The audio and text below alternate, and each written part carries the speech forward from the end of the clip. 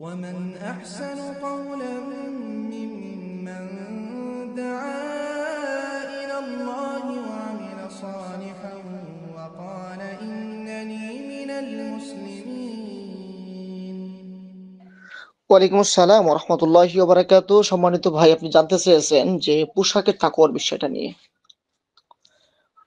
পোশাকের তাকওয়ার বিষয়টা হলো আল্লাহ সুবহানাহু ওয়া তাআলা সূরা আরাফের 26 নম্বর আয়াতে তিনি বলেছেন যে আল্লি বাসু তাকওয়া। আল্লি বাসু তাকওয়া অর্থাৎ এমন পোশাক তুমি পরিধান করো যে পোশাক তাকওয়া ধরে রাখে। অর্থাৎ কেমন পোশাক পরতে হবে? যে পোশাকে একটি মেয়ে যদি তার দেহকে ঢেকে ফেলে দেয়, সেই পোশাকটা অবশ্যই ঢিলাঢালা হতে হবে। অবশ্যই তার পুরো অঙ্গ ঢেকে ফেলবে, এমন পোশাক পরিধান করতে হবে। যে পোশাক তার মাথা থেকে শুরু করে মাথার উপর থেকে শুরু করে পুরা দেহর পায়ের নিচ পর্যন্ত পরিপূর্ণটা ঢেকে ফেলে দেয়। এমন পোশাক পরিধান করতে হবে। একটা ছেলের জন্য কেমন পোশাক? একটা ছেলের জন্য অবশ্যই তার নাভির উপর থেকে শুরু করে গিরার উপর পর্যন্ত অবশ্যই পোশাক পরিধান করতে হবে। হাঁটুর নিচ পর্যন্ত। তারপর শরীরটাকে ঢেকে ফেলবে।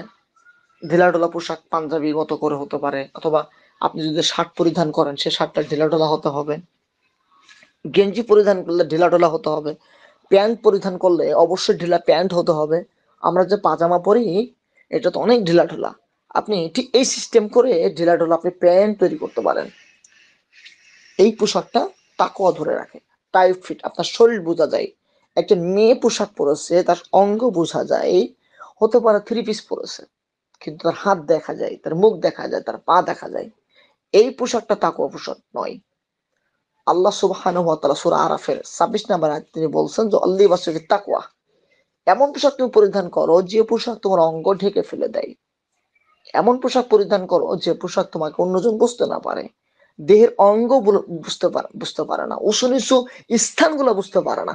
এমন পোশাক পরিধান করতে বলেছেন আল্লাহ সুবহান আশা করি বুঝতে পেরেছেন। আসসালামু আলাইকুম রহমতুল্লাহ।